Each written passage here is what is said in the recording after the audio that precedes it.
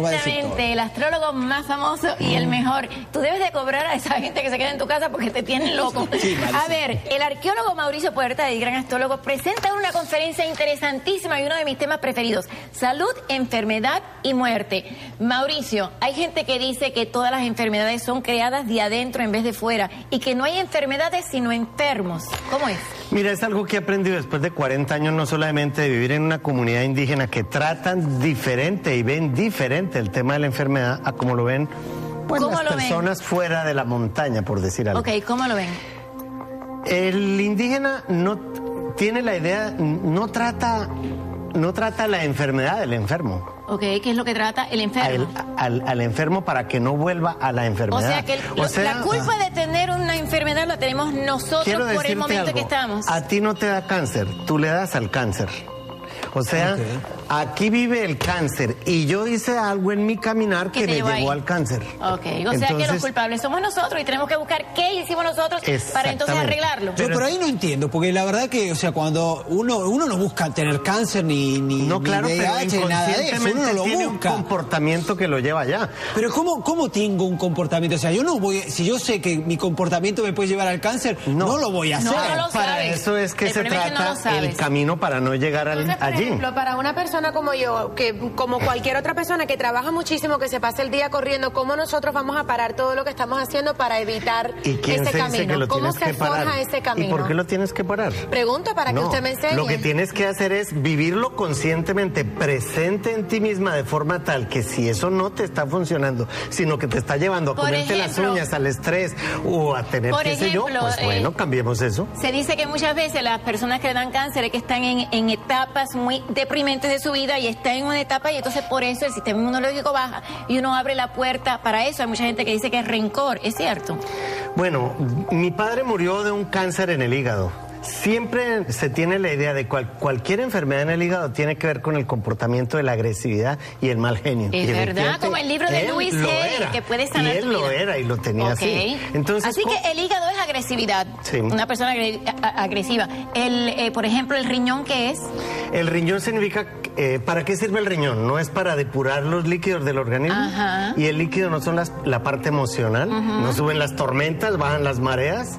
Para eso es. ¿Problemas emocionales o falta de amor? Eh, bueno, no Así dice Luis necesariamente. Hay en su libro, tú puedes Bueno, pero tu vida. Mari, no se puede querer a todo el mundo. La verdad que hay gente que es patética.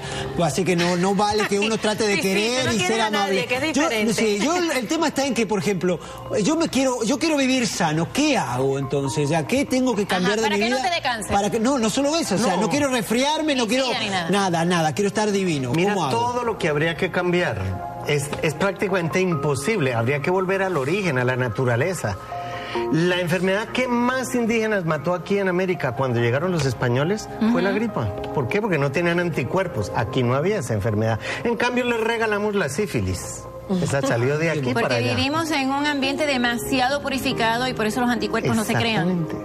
Pero entonces, ¿qué podemos hacer? Porque también No. dice usted en esa conferencia que uno debe de mirar hacia adentro en vez de echarle la culpa, que también en la vida es así. Cuando a mí me pasa algo, Bueno. tú dices, es culpa de él.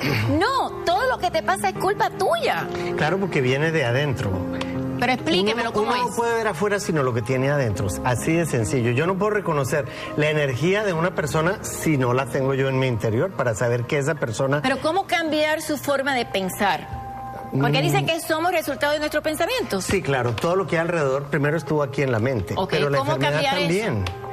¿Ves? Es como las personas que siempre que me voy a engordar, no, esto me va a engordar, no, esto me va a caer mal. Ya, de una vez están comiendo la enfermedad ellos mismos a través de la dieta. Deje de hacer dieta. Entonces, ¿cómo piensen- haces como en la yoga que dicen que tú sacas los pensamientos de tu mente para que no te intoxiquen? No, yo creo que no hay que sacarlo, lo que hay es que observarlos y decirle, oiga, esto es como la jaula abierta. Por ejemplo, una persona está deprimida y tiene, oh, no voy a poder No, hacer nada, persona- no puedo no. pagar mi casa, no puedo, Te ¿qué hace? equivocaste, la persona no está deprimida.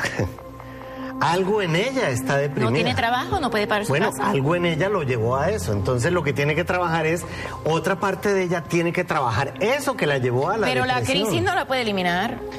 Pero puede transformar los efectos de la crisis. ¿Cómo?